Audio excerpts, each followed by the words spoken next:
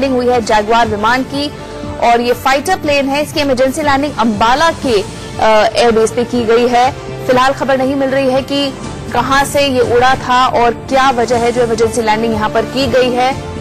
पक्षी से टकराने के बाद ये इमरजेंसी लैंडिंग हुई है, जो शुरुआती जानकारी मिल रही है। उसके मुताबिक विमान का पायलट पूरी तरह से सुरक्षित बताया जा रहा है। अम्बाला के एयरफोर्स स्टेशन पर एक जैगवार लड़ाकू विमान की इमरजेंसी लैंडिंग की गई है। खबर ये मिली है कि एक पक्षी के टकराने की वजह से ये इमरजेंसी लैंडिंग की है और जो सवार था, इसमें पायलट वो पूरी तरह से सुरक्षित है।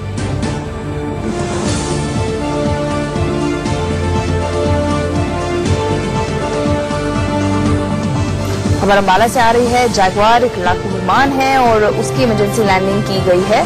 ये खबर मिल रही है कि जैगवार उड़ाते वक्त एक पक्षी फाइटर प्लेन से टकरा गया था, जिसके बाद इमरजेंसी लैंडिंग करनी पड़ी अंबाला एयरफोर्स स्टेशन पर।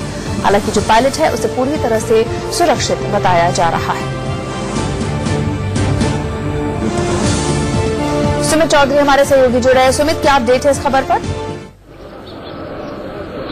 देखिए अभी जो अपडेट है वो यही बताया जा रहा है कि जैगवार एयरक्राफ्ट था और करीबन उड़ान के वक्त इसकी जो टकराव था वो किसी पक्षी से हो गया जिसके बाद इसके इंजन में कुछ खराबी आने के चलते इसको इसको अंबाला उतरना पड़ा और खासतौर पर एक बड़ा एक, एक, एक हादसा था जो टल गया क्योंकि जो पायलट है या फिर उसको कोई नुकसान नहीं हुआ और सेफली इसने लैंड किया अभी तक इनिशियल इन्फॉर्मेशन में यही बताया जा रहा है कि अभी जो ना तो पायलट को कोई ज़्यादा नुकसान पहुँचा है ना ही एयरक्राफ्ट को।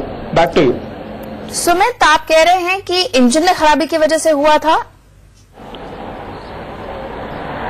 देखिए मैं आपको बता रहा था कि किस तरीके से पक्षी के टकरा जाने के बाद से ही इंजन में खराबी आ गई। इसी के बाद पायलट ने जो था अंबाला एयरपोर्ट स्टेशन पर इसको उतार दिया है जगवार को।